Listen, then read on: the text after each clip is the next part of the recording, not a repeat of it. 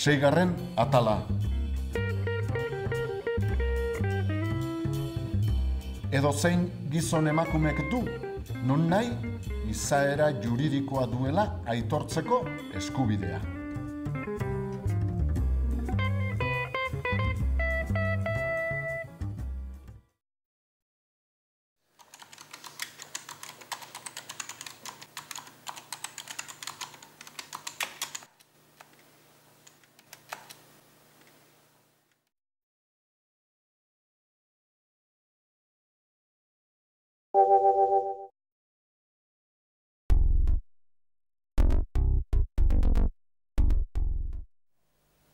Seigarren atala laburra da, baina mami handikoa.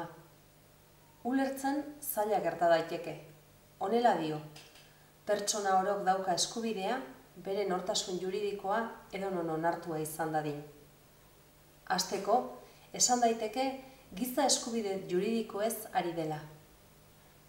Zehazki, nortasun juridikoaz ari zaigu. Baina, zer da nortasun juridikoa?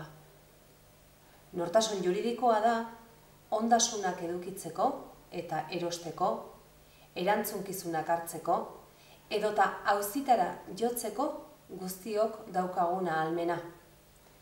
Ahalmen hori balia dezakegu nork bere kaxa edota taldean elkarteak antolatuz.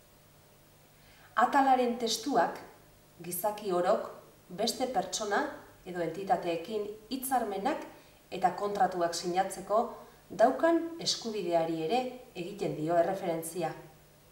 Auzitegiek guk eginiko bidezko erreklamazioak aintzat hartu behar dituzte eta sinatutako hitzarmenak bete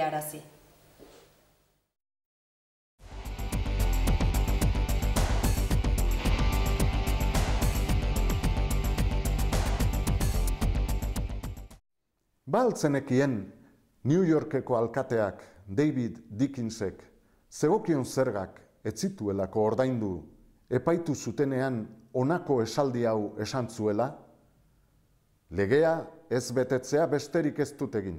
Hori delitu alda.